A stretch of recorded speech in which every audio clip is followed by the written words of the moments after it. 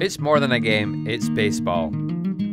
One of my first times to an American baseball game was at the invitation of some friends to go out and watch the Brewers at Miller Stadium in Milwaukee.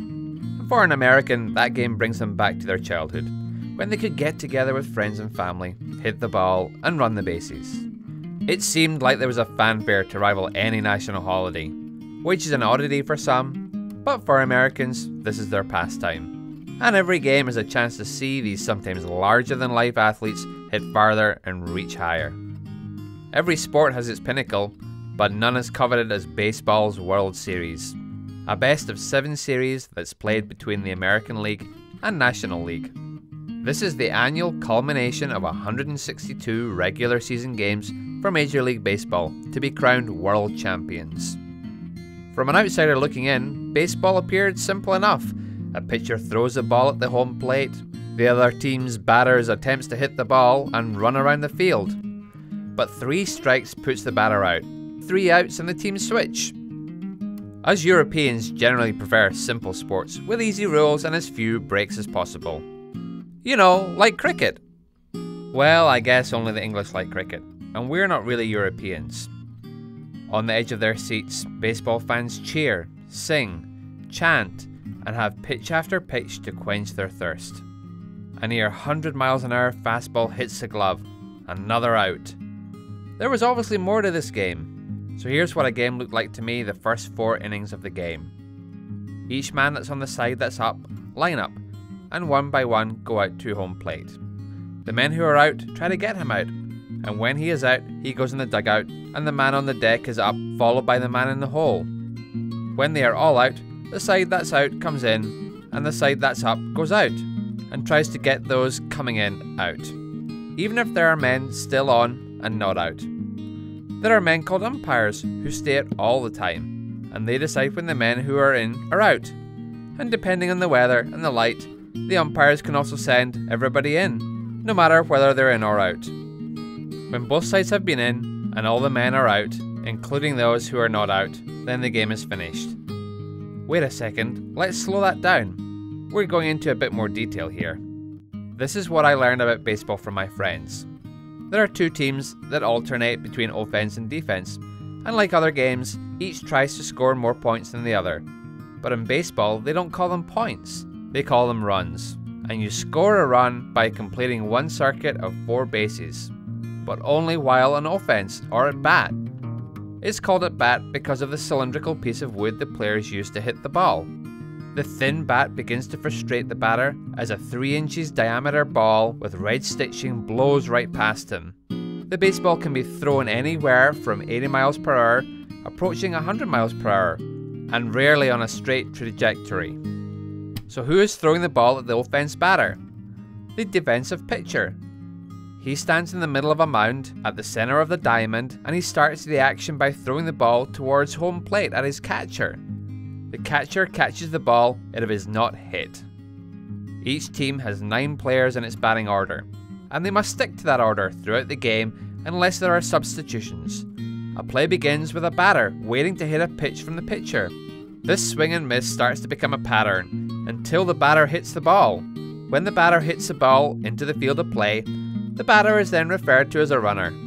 A batter gets a hit when he reaches a base without getting out or forcing another runner to get out.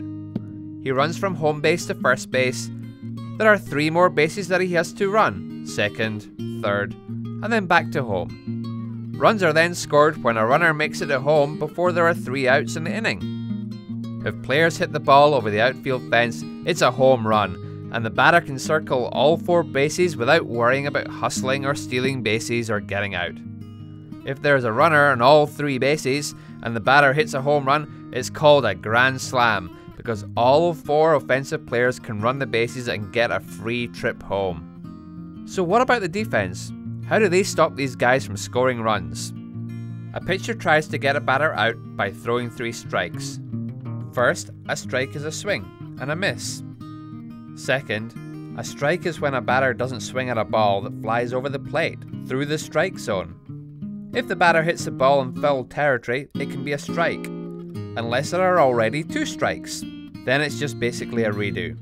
And get this if the catcher doesn't catch the third strike, If it goes past them or they lose it out of their glove, then the batter becomes a runner and can try to get to first base before the catcher finds the ball and throws it to the first baseman. Then he's safe even though he struck out. Now, if the pitcher throws four balls, which means a pitch that is not in the strike zone, and the batter doesn't swing at them, the batter is automatically allowed to go to first base. There are a few other ways for the defense to get the offense out. First is the strikeout, which we've discussed, where the batter misses three pitches. Then there is a force out, when the ball is hit and the defense player gets the ball and reaches a base before the runner. Then there are flyouts, when a player hits a ball in the air and it's caught by a defensive player before the ball hits the ground. And last but not least, there are tagouts, where the runner is touched with the ball or by a glove with the ball in it. Let me explain the field to you. The field is often called a diamond, though the field is actually more shaped like a cone. The part of the field closest to the bases, inside the diamond, is called the infield, and the grassy, farther reaches is the outfield. The distance between each base is about 90 feet, the distance that an offensive player must run in order to reach the next base. The defense has infielders, who are the first baseman, second baseman, shortstop, and the third baseman, as well as the outfielders, the left fielder, center fielder, and right fielder. Nine players on the field in all. In professional baseball, there are nine innings, and each inning is divided in two the top of the inning where one team is at bat, and the bottom of the inning where the team that was at bat grabs their gloves and goes into the field.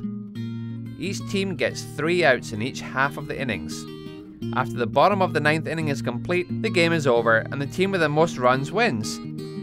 If the game is tied, it can go into extra innings. So there are a few unwritten rules. Baseball has this element of courtesy, or sportsmanship. Never swing at the first pitch after back to back home runs. This is a matter of courtesy, respect for a pitcher who is clearly struggling, offering just a sliver of daylight, a brief light of escape at the end of the tunnel. When hit by a pitch, don't rub the mark. Don't stand on the dirt cut out at home plate while the pitcher is warming up. Don't walk in front of a catcher or umpire when getting into the batter's box. Don't help the opposition make a play no kidding, right? Follow the umpire's code when addressing them on field. If a pitcher gets pulled, they should stay in the dugout, at least until the end of that inning. Pitchers should never show up their fielders. The list goes on and on, which is what makes baseball so popular and so mysterious to the outsider looking in. So that's what I learned about baseball my first time out. I don't know if I explained it well enough, but I took a swing at it.